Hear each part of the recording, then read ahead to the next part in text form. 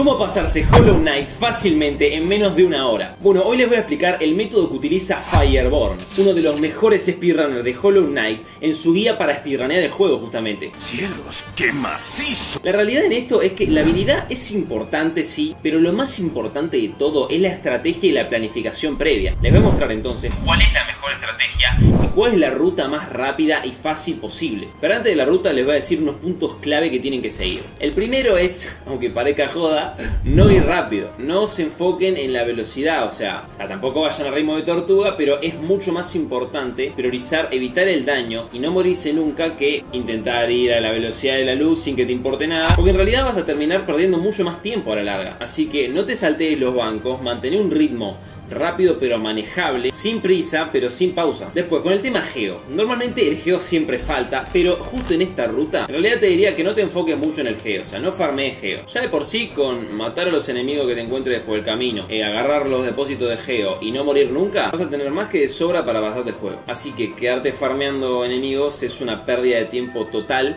justo en un speedrun tiempo es lo que nos falta, ¿no? Otro tip es con el tema amuletos. Acá no venimos a hacer el 112. Si quieren que haga otra guía cómo hacer el speedrun de 20 horas de 112, déjenmelo saber en los comentarios. Pero en este video no vamos a agarrar amuletos. Obviamente, qué sé yo, eh, la brújula caprichosa o el enjambre del colector son obligatorios. Pero después yo, el único que recomendaría ir es por piedra del chamán, que es uno de los amuletos más poderosos del juego y se puede conseguir casi que al principio. Ya con eso estarías bien para toda la ruta, o sea que no, no te gastes más tiempo para ir a buscar otros amuletos. Por último, te empezar un truquito que les puede servir si precisan tomarse un descanso, ir al baño, qué sé yo, cualquier cosa. Asegúrate de pausar el juego, porque cuando está en pausa el juego, el, el reloj de la partida no va a seguir corriendo. Esto ya fue confirmado por modders que entraron al juego y vieron en el código que esto funciona así. Así que, por ejemplo, si estás haciendo el speedrun mientras ves esta guía, cada vez que quieras ver algo del video para saber qué tenés que hacer, te recomiendo pausar el juego. Y bien, ahora sí comenzamos con la ruta. En Paso del Rey, tomémonos el tiempo de agarrar Furia de los Caídos. Yo sé que te acabo de decir hace dos segundos que no importaban tanto los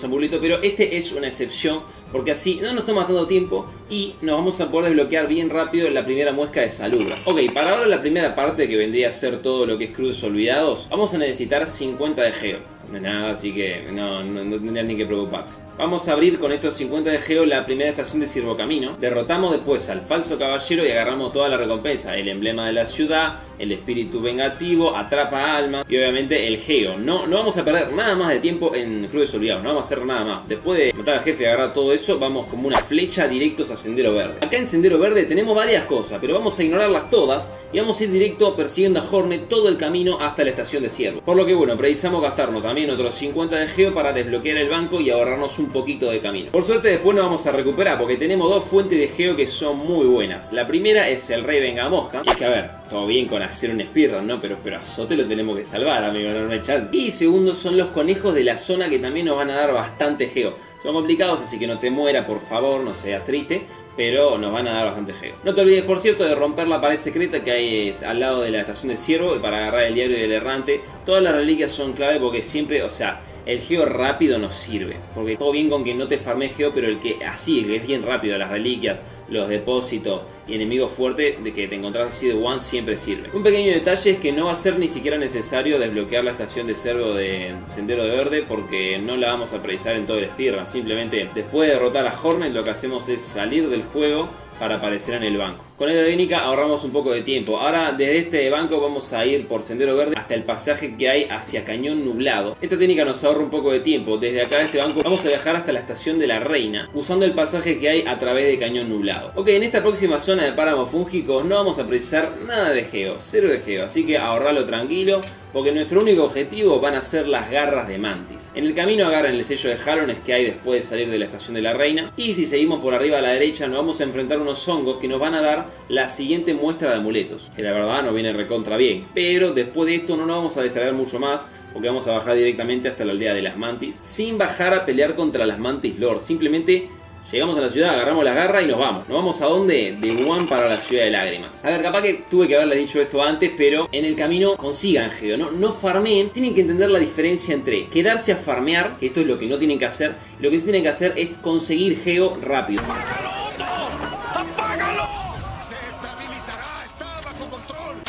Mientras van pasando consigan geo, porque en realidad lo vamos a precisar, o sea, no tienen que hacerse la ruta pacifista de Undertale, tienen que hacer una ruta rápida de conseguir geo, matar rápido, sin farmear este, para no perder tiempo innecesario. Ahora quedó claro, lo explico así, ¿por qué lo explico tanto? ¿Por qué lo reitero? Porque ahora precisamos 600 de geo. Yo sé que no es mucho, pero después en la próxima zona van a ver Ahí sí precisamos geo, o sea, tiene que tenerlo. Lo que vamos a hacer en Ciudad de Lágrimas es directamente bajar a comprar la primera mejora del aguijón, que es clave y nos va a servir muchísimo para lo que viene ahora, que es el santuario de almas, que ya empieza a ser una zona complicada. En este vamos a agarrar los hechizos y a matar al maestro para conseguir el hechizo. No se mueran, por favor, porque perderíamos tiempo. Y después vamos a reaparecer en el banco, salimos otra vez del menú, no sé qué, pim pam pum, para aparecer en este banco que hay afuera de la santuario de almas.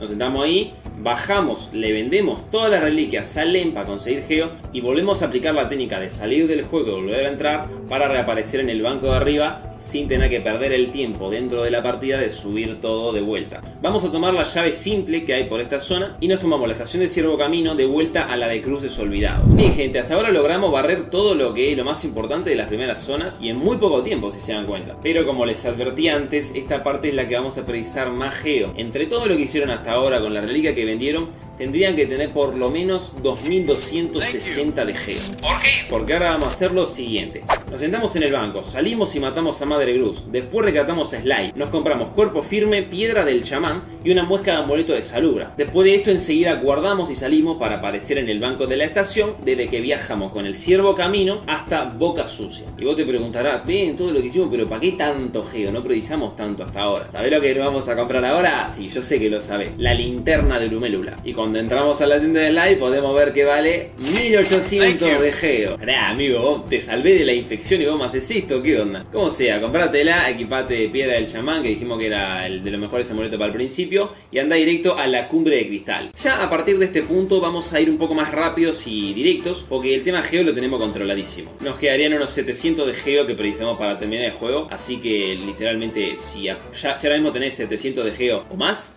podés no matar a ningún enemigo más y vas a poder pasarlo tranquilo. Bien, entonces en Cumbre de Cristal vamos a ir rápido todo el camino hasta el corazón de cristal. Para eso le estoy dejando acá la mejor ruta, que como ven es al principio y un poquito a la derecha por abajo. Subimos al mango hasta arriba del todo desde arriba del todo un poquito a la derecha, bajamos y ahí ya estamos cerca del corazón de cristal. Después del corazón van a ir a por oscuridad descendiente, acá les pido por favor que no se caigan en el pozo, que va a la tierra del reposo. Pero a ver, por algo agarramos corazón de cristal, para que no se caigan, o sea, tiene que pasar por arriba y conseguir oscuridad descendiente. Una vez que sí lo tengan el hechizo, ahora sí se pueden tirar por el pozo. Para conseguir el aijón onírico. Y ahora no vamos a volver a Boca Sucia, no, vamos a tomar en la estación de Siervo Camino a los almacenes de la ciudad. Y lo que nos falta principalmente para ganar el juego es matar a los soñadores ahora mismo. Prácticamente no nos falta más, porque ni siquiera vamos a ir por el doble de daño, no lo vamos a precisar, ya van a ver. Pero lo que sí nos queda, en realidad, un último detalle, es que vamos a ir por la lágrima de Isma. Esto sí es necesario, pero no nos va a tomar mucho. Simplemente bajamos de la estación directos a la puerta que va hacia los canales reales, que podemos abrir porque conseguimos la llave simple antes. Ah, ah, ahí ya ve que va, va conectando toda la ruta. Eso tiene sentido para mí. Ok, entramos y vamos directamente al defensor del estiércol, lo matamos y activamos la palanca para poder agarrar la lágrima de Isma. Desde acá, desde este punto que agarramos la, lágrima, hay un pequeño atajo que nos puede llevar directamente muy rápido a Lurien, al primer, al primer soñador. Acá les estoy dejando la ubicación del atajo, que es una puerta secreta que nos puede llevar directamente hacia la parte de la derecha de la ciudad de Lágrimas, que es de donde podemos pasar a la puerta y subir por la torre de Lurien. Aunque acá para subir por la torre tenemos que hacer un pequeño truquito haciéndole un poco a un objeto del escenario. Con eso van a llegar a la plataforma de arriba y no van a precisar el doble salto. Si le erran dos veces, no se preocupen porque pueden salir de la sala y volver a entrar y van a reaparecer los objetos del fondo. Cuidado acá, gente, porque se viene la pelea más difícil, te diría, eh, o una de las más difíciles, porque no somos tan fuertes en este momento.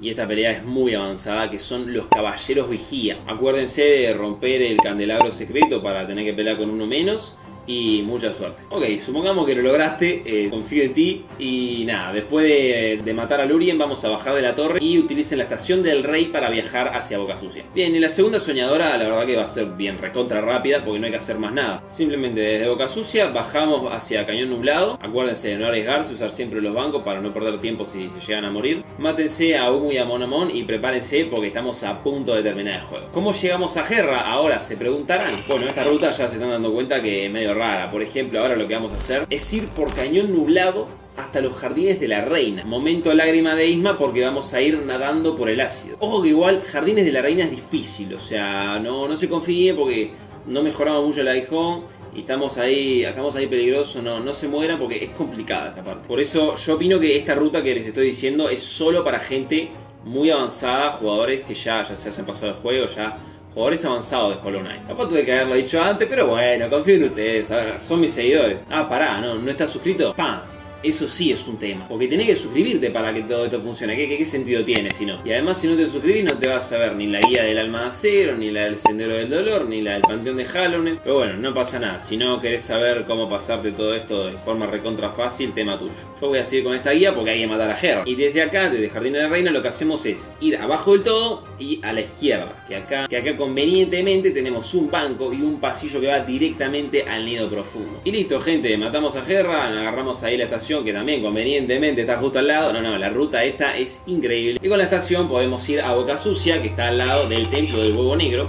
Que ya tenemos todos los soñadores, entonces lo único que nos queda es matar al Hollow Knight. Y así terminaríamos el juego de la forma más rápida posible. No, no, no, falso todo. Esta es la forma más rápida.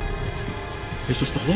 ¿En serio pensás eso? Esto es para novatos. Como vieron en el título, capaz llegás como poco a una hora con este método. Pero hay un loco Créanme, gente, que se pasó Hollow Knight en 5 minutos. No joda, boludo. Y si te preguntas cómo demonios hizo esto, estás como yo cuando me enteré. Por suerte investigué e hice un video explicando exactamente cómo funciona lo que hizo. Y cómo de hecho vos podés intentar este método mucho más loco, que este sí está en otro nivel. Te lo dejo por acá por si te interesa. Soy Lean de videojuegos y nos vemos.